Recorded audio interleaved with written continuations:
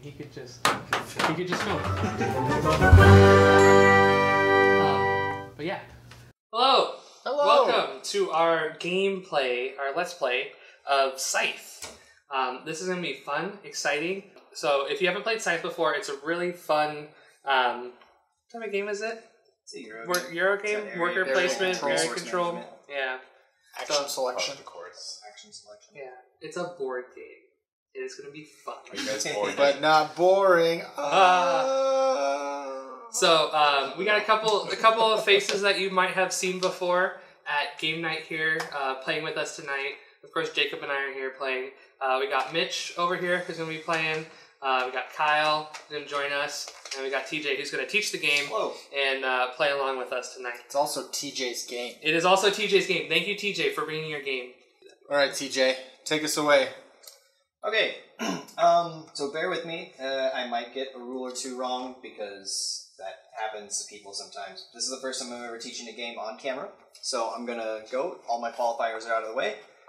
here I go. All right. So I'm gonna be primarily teaching it to Mitch here because he's the I have no only one idea that what's hasn't going played. Yeah. 'Cause He has no idea. Unfortunately, Mitch is the only one that has not played this game. Which game. is good because um, he can. Uh, Give us ask his, questions his throughout the experience. game. And I will not pay attention and figure Yes. out what's thinking. Okay. As, as So- I usually do. Alright, so in Scythe, we are going to be. Uh, our goal is to end up with the most money at the end. Those are going to be your victory points, okay? Okay. So you're going to be spending money, you're going to be moving, you're going to select, be selecting actions and doing a ton of stuff all over this board. Uh, using your shi airships, which we are playing with the airship expansion. So, uh, and then you get uh, have these encounters, you have your characters and all that. All right, on your turn, you're going to take your uh, your action pawn here. Not sure of the official term, but you're going to take this and you're going to choose one of these four spots on your board. So there's uh, those are going to be the different actions you can do. So you can uh, there's a top action and a bottom action for each.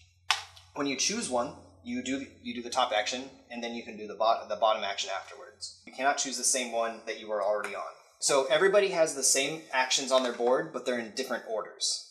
All the top actions are going to be ordered differently on everybody's boards, and the bottom actions are all going to be in the same order, but they're going to cost different uh, different amounts for everybody. To start, I'm just going to go in from on your order here from uh, from left to right.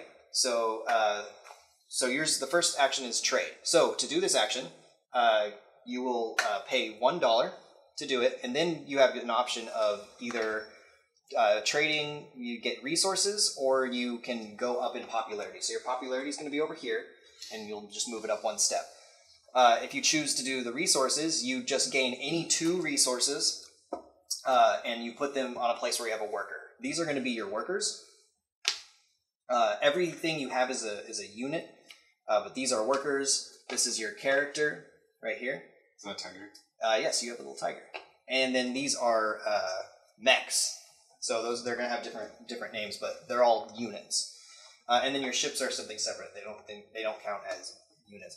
Uh, so when you do that, so you get to choose any of the two, any two resources in any combination, and you put them with your workers with somewhere where you have a worker. Okay.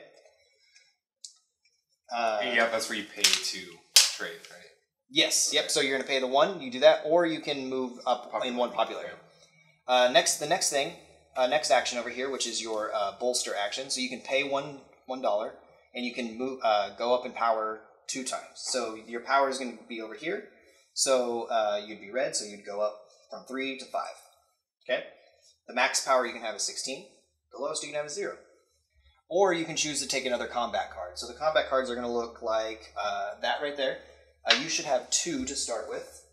So you can pay one to bolster twice, or you can uh, Do you know these gain one more of those. Yep. So the next action is going to be to uh, to move. This is going to be your move action. This one's going to be one of the most important actions. You'll notice on there there's two little squares with little guys on there. That means you can move one unit uh, or one of your uh, one of your pieces uh, one time. Okay. Uh, so if uh, that means one one time and then another one one time. So it's not one twice; it's two once. Okay. So I could I could move uh, that worker there and then that worker there, and that's my turn. Or I can move this worker uh, like that, and then I can move my character like so. But that's how you move. Mechs are going to be the same if you have a mech out there, and you have two movements. You can move the mech one and that. Mechs, though, can carry uh, workers. So if you, there's a worker here, you can carry that worker with him across, uh, to wherever, and he could also carry both of those as well. So you can carry any amount of workers with a mech. Okay. You cannot cross these rivers or cross over or go through lakes unless you have an ability, which we'll get to in a minute on that. But for now, you are landlocked on this peninsula. Uh, yeah, if you move into the factory, which is this main this main spot here with your character, then you get to take a factory card. You'll look at all the factory cards, choose one, keep it. They are going to look like an action space, and they will go on the end of your board, and they'll become a fifth action space. Uh, if your character reaches a encounter spot that looks like this, then you get to take an encounter card, which is right here. You'll read what's on the. Uh, you'll read what's on there. Uh, you'll show everybody the the artwork. Ooh. And the viewers at home yeah, show the can see. And the viewers. viewers at home can see. Yeah, there you go. Uh, all right, that's probably bad. Uh, so you read what these are, and then you will um, choose one of these. So, like for example, this is uh, discuss the blueprints over lunch. Gain two food and one popularity. Use your technology to assist with the roadside construction. Pay three power. And build one structure. Anyway, you're gonna choose one of those things after you read them all. So this one will go to the bottom pile because I just read it out loud. Boom. Oh, I want. Okay. Alright. Uh, in full disclosure, we are playing with the new encounter cards. I didn't mix them with the old ones, so that's all that's going to come out are new ones for anybody that's played before. Uh, tunnels. So when you move, so there's all these tunnel spaces. Okay, they are adjacent. So if I can move from here to here for as one move, Okay. and then here to here, and so on. Okay, so that that would count as one move. Uh, your character can carry workers too. For some reason, I anyway, it doesn't matter. Uh, so you think you work? Oh yeah. Also, resources can be carried by workers and stuff too. So like, if you ever leave like resources behind, if I can grab any, uh, then that's not owned by you. That's not owned by anybody. So you're gonna want to carry them with you. And you can carry any amount of resources with workers and whatnot. All right. So that's movement. Uh, instead of moving, you could also choose just to gain money. Okay. So then the last thing on here is producing. So uh, when you produce, workers out there. uh, possibly. So the cost of it is going to be uh, nothing for you right now, but in the future it could cost you more. A little more expensive. Yes. Uh, so uh, right now you can produce on two different territories, which currently you have two territories of workers. So you have to have a worker in that space, uh, and then you produce whatever it is at the top. So this is a village, so that's going to produce a worker. So and then you'll take a worker and place it out there with them. So now you have now you'll have another worker there. If you had two workers here and you produced, you'd actually get to produce two workers. So however many workers you have on that territory, you get to produce that much. what resources? So if they were on this, I produce like two silver, silver bars, right? Yeah. So if you yep. So if you're on a mountain space, And is that just one iron? action, or is it every turn you produce wood? no, that's that's just when you do the produce Okay. action. Yep. So then here you'd get two iron, two oil, uh, two food, and two wood. Well, I mean, if you had the two people there. Otherwise, it's going to be one per, one per worker. Uh, but you can do it on two separate pl- places. So if you had three out there, uh, you, you'd have to. If you had one here as well, you'd have to choose two of those to produce on. As you get more out there, you'll notice that it's uh, more expensive. Uh, so ne- now, if you were to produce, you have to spend one power to uh, to actually do the produce action. Okay. So the bottom actions are all going to be in the same exact order for everybody, but they cost different. So once you've done the top action on a space, you can do the bottom action, and they're going to cost resources. So the first one is going to be your upgrade space. So that's going to cost uh, oil. So however much oil is there, Oils, yeah. Yep, and then you can upgrade it. On some spaces, there's gonna you're gonna get extra money uh, when you do it.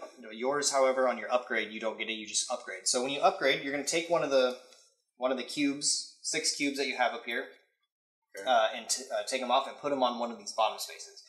Just because you did the action here doesn't mean you can't. You have to take the cube from that space. You can take when you upgrade. It can be any of It's the saying like cubes. so I get like two. Yep. What what, what are those game the hearts? Victory? Popularity. Popularity. So I Yep, so two- now here- I get two popular. Yep. So now you can, when you do this, no, no, not when you upgrade. So you're going to take this off. You're going to move it down to one of these, making. You'll notice that they're not they're slotted spaces, right? Yeah. So uh, you'll move those down there, and now this is going to be a cheaper. This action is going to be cheaper for you to do now. And uh, you also, you if you do this action when you gain popularity, you gain two instead of just one. So Uh, if you brought this down here, you'll notice there's two spaces, so you just slide it over to the right, and then next time you It's kind of making upgrade again, cheaper Yeah, it makes things or, or Yep, makes things get more, cheaper, yeah. and then you get more from the top. So you're, that's your upgrade. Okay. The next space is going to be uh, deploying mechs. You'll pay the iron for it, and then you'll do that, gain the money, and then you'll choose one of the four mechs that you have to deploy, and you're going to deploy them to a space where you have a worker. Okay. Any of the, any spaces you have a worker, and then you'll notice on there that you have uh, different abilities that'll that'll start happening once you uh, once you. so you uh, want to get your mechs out there. yeah, so- exactly. And then they become other units that you can use in like combat and whatnot. okay. That was one thing I learned too. Uh, for this one, it's uh, yours says uh, move across rivers to farms and villages. Uh, so that what that means is now you can start moving across rivers, but you can only move to farms, which are going to be uh, these spaces with the food, or villages, which are these spaces with the little meeple. You can't move your workers across rivers and stuff. Only your mechs and your character. That's what this symbol right here means. Is only those get to do that. So your character can now, once you reveal this one, can now move into villages or into farms. If I wanted to get back over here, I could. But if I was, if I went over to this, I can't go back that direction because it's not a village or a farm. Okay, but I could go like that to get back. So that's all what those abilities do. Um, so that's how you get mechs out. Next is going to be uh, the uh, build. So it's going to be there's four buildings on your board. So you'll pay the wood, you'll gain the money that's there, and then you'll put one of the four buildings out. So the different buildings are going to be your armory. So they have to go to where you have a worker, and you can only build one. Uh, you can only build one building per uh, per tiles. Okay, so if, I, if you build here, nobody else can build that build there. Okay, if you're not there, you do control this. However, if I were to move in, now I control it, even though your building's here. I don't control this building. I just control this space. Do you have to bu- put these buildings out to act to use these Yes. features? Yeah. Yeah. So, well, not not to use these actions. So when now what's the point? I'll, I'll show you. I haven't got to that yet. So when uh, you place the building out, uh, now whenever you do this action, you're going to also get to bolster one. So you'll get to move up on your power one space every time you do this action, regardless of which one of those two things you choose to do.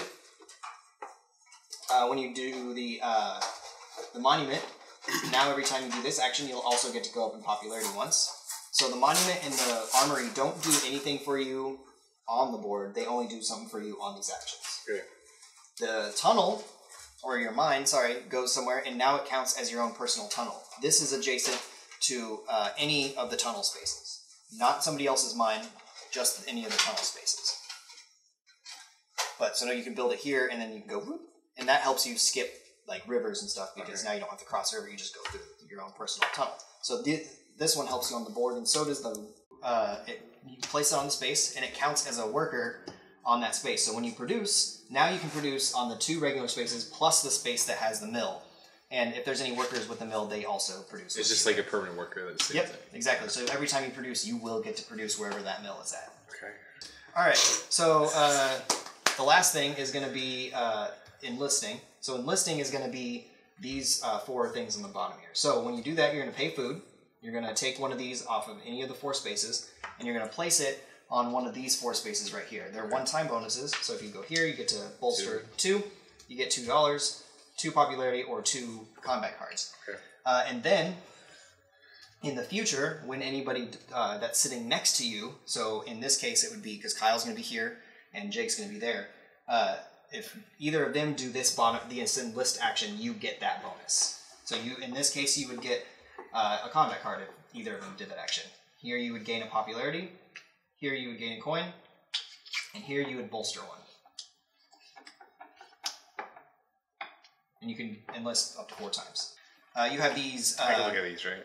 yeah, sorry, I should not look at these because these are Kyle's. But you do have these. How uh, rude. these, these secret objective cards. Uh oh, okay. you do have these. I these. think I should get new ones. Hey, look, Jacob, can I? I'm gonna explain Oh, this game yeah, for you. sure, okay? So I'm gonna look at absolutely. these so I can show you what these do. You do have these secret objective cards, right? So uh, they uh, they do different things. You can fulfill one of them. Once you fulfill it, uh, at the beginning of your turn or at the end of your turn, you can uh, show reveal it that you've done it. And once you've done it, you get to place a star on the board, which leads me to stars being placed on the board. So How do you win? the game ends once one of us has placed all six of our stars Okay. on the uh, uh, oh my gosh, the, Star Trek? the Triumph track. This is Star Trek. Triumph track. Yeah. I'll- This guy. Yep, so that's once you've gotten all six of your upgrades out, you can place a star as soon as you do it. The next one over is once you have all four mechs out, you can place a star on there. Uh, that that one is once all four uh, buildings have been built, you can place one. All four enlists, so all these, all four of those uh, enlistees are out. Uh, Is there like one per person? Like in no, any amount of people can be on those those spaces, but just once you finished it, you get a place there. Uh, have all eight of your workers out on the board, so that's all these guys. Uh, the next is uh, complete one objective card, so you can only complete one objective card. That's it. the whole game. Of the of the two, yes, correct. Really? Yeah. Yep. So, but they they're like they take a while for you to build up. Yeah, and they're get not to they're not easy cards. to get to. Okay. Uh, the next two spaces are win combat, so that's either even if you didn't initiate the combat, you still win. You get to place a star out there. There's you could do that twice, so that's why there's two It's spaces. the only one you can do twice. Yep. And then the next one is get I'll reach 18 on the popularity track. Even if you were to go down in popularity after you've reached 18, you keep, your star stays out. Okay. And then the last space is uh, have 16 power, so you bolstered all the way up there. Same deal as the uh, popularity. If you reach that and you move down, you still get to keep. So we're your trying to do out this to win, like basically. This. Not Yeah. necessarily to Well- win, because uh, winning is having the most money. You could, in Oh, theory, Oh, okay. put- That just ends the game. yeah, Yeah. first person to get all six out there ends And the game. it's like if you want to just rush and end the game right away, you might. Yep. So uh, Catch the last thing someone. is going to be combat that I'm going to Is explain. this a fidget spinner? no. Is Uh, so uh, this is for combat. So let's That's what say figured. Your health or whatever. you wanted to move into That's this for fighting. space. Okay. All right. So let's say you wanted to move into this space, right? And so you come over here. At the end of your all after the end of your all your movements, now you're going to do any combats that need to be. So you cannot sh- ever share a space with somebody else. Okay. So if you're in here, you're going to have to fight. So in this case, since you each have, uh, we each have uh, one uh, mech in there, we both could play one combat card, uh, up to one combat card. So uh, I'm just going to take one for as an example. All right, so You're not use combat cards are going to be. Uh, Yeah. He actually doesn't have any. He doesn't Uh, with so they're going to be uh, from two to five. On the board, it shows you how many are in the deck total. Okay. So what you're going to do is like in this case, I could play that. You're going to choose. Then you're going to choose. Look at your uh, power here. You're going to use some of that power. So if I wanted to, I have five here. If I wanted to use three of the power, and then I use this one card to make eight, I'm going to do this secretly. Okay. And then you're going to do the same thing. And then once we're both done, we're going to reveal. And then whoever has the higher power uh, wins. If it's tied, tie goes to the attacker. Thank you. So why would you never want to use your full power? because it takes you down Because at the end, once you've used your power, even if you lost, your power then Okay. goes down. So yeah, because you're going to be using it and gaining it and all that. So Just uh, like my weight. Yep. And then you lose the card. If you if you spent at least one power from here and you lost, you get to draw a combat card. Okay. Uh, if I had two mechs here, I could use two. Uh, give me another one. I could use two uh, combat cards. One more thing. So if uh, we were to fight in this space, you came in here with Yeah. your character to fight my mech. If I have a worker here and you beat me, so when you lose, all of your people there go back to your home base. He's my slave. No. No, he's not. No. So they go back to your home, your home base, and uh, any workers that were there, you're going to go down that many popularity for each one because you scared them away. So you would, if for beating me in that case, you're going to go down one. If So I you lose popularity with common folk, right? Yes, exactly. So if this guy wasn't involved in the battle, then you would be fine. Uh, if you move into a space that just has a wor- has a regular worker, you don't. There's no battle, but you do scare them away, and you do lose popularity. Jump into the ships, man. So the ship, everybody's got a ship. So uh, your ships can move when you do the move action, and they they count as one of the two units or three units that you can move. However, ships have their own specialties, and in each game there's going to be a different two of these different tiles that come out that uh, give the ships their abilities. Okay, this is the these are the ones we're using this time. We're using boost and toll. So boost gives you how many spaces it can move. So for one movement, it can move two uh, two spaces. Okay. This does not upgrade its movement. It'll always be two. So you can move it one, two. Ships can move through territories that have other people because they you do not control the territory that your ship is in. So you can fly through, uh, and people can move into. Okay. Uh, so, but with boost, it says when moving out of your airship's territory or home base, Your characters, mechs, and workers gain plus one range. So that means if I were to move this guy out of this space, I normally would have one right now, but now you, I could have a second movement because I'm moving out of where the ship is at. Same with the worker. I could go one, and then, well, I guess, I, yeah, I could go one, two. And the next one is the toll. You can carry three resources on the ship. So you can't carry workers or anything, but resources. So I can place one there. And you can carry up to three. So you can kind of just like fly them around to other places or just keep them safe up there. An opponent's unit may move onto or through your airship's territory only if it's transporting resources. Unless your airship is full, place one of those resources on this airship. One, uh, one per unit. You choose the resource to take. So, if you're right here and I want to move into that space or through it, uh, I have to have resources with me.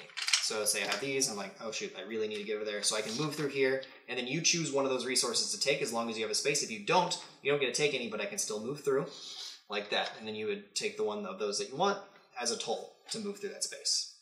You can't move through them if you don't have resources. Correct. If you don't have resources, you cannot move into there Only with workers, right? It says with anything. with anything because you can carry resources. Yeah, any opponent's unit. Correct. So those are the different things that those do. If you need to look at them, just let me know. They're over there. Uh, game ends when somebody's placed their six out there. So let me explain scoring, and then we'll be good to go. So scoring is going to be de- be determined on which tier you're in. There's three tiers. So that's going to be your popularity at the end. If you're in this this tier, you'll score with these. If you're in this tier, you'll score with these. If you're in this one, you'll score with these. Let's say we're in the first tier. Uh, so you're going to score stars. So however many stars you've placed out, you're going to get this many points uh, for those. So you get three points for each star. If you were in second tier, you get four for each star. If you were in third, you get five for each star. Uh, next, you're going to do territories. How many territories you control? So uh, in the first tier, you'd get two uh, points for each territory you control. If you control the fa- uh, the factory, it counts as three territories. And then the last the last space uh, on here is going to be for every two resources that you have, uh, you get you'll get in the first tier you'd get one, and then so on up there. So that's why popularity is important, especially towards the end, because a, a, t- a tier change can completely swing the game. Like you could feel like you've been doing way better than somebody else, but they're like two tiers ahead of you. They're probably going to be way better off because you get a lot more points for being more popular. Just like high school, right?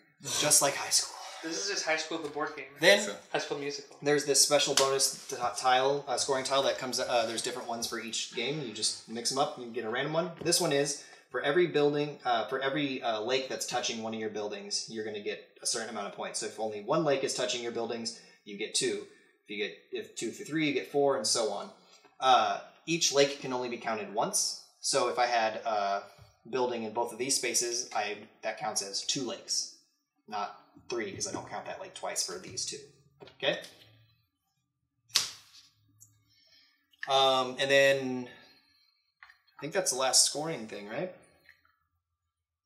Yeah, I think so. that is. That's it. And then that's it. whoever has the most money Wins. wins. 'Cause, yeah, so when we They get do our scoring, we're gonna hand money out as that, and then uh, if you have the most, you win. okay. You ready? You ready, I'm man? so ready. Okay. So ready here, let's All right. reposition everything.